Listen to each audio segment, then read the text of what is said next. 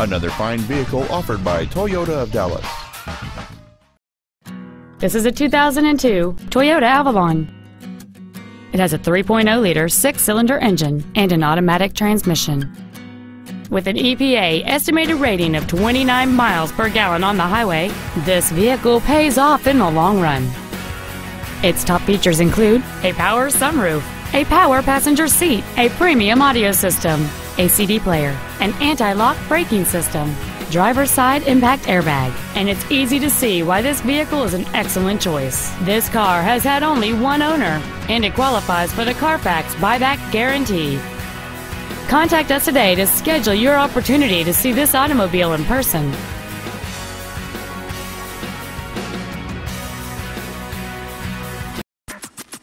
Toyota of Dallas is located at 2610 Forest Lane.